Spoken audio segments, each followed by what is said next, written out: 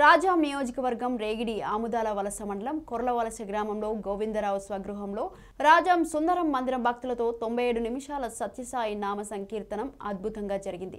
అనంతరం వివి సత్యనారాయణ మరియు సుందరం మందిరం కన్వీనర్ వెంకటేష్ మాట్లాడుతూ భగవంతుని నామ సంకీర్తన జరిగిన గృహంలో గల సభ్యులకు మరియు ఆ గ్రామంలో అందరూ ఈ నామ సంకీర్తన ప్రభావంతో ఆనందంగా ఉంటారని తెలిపారు.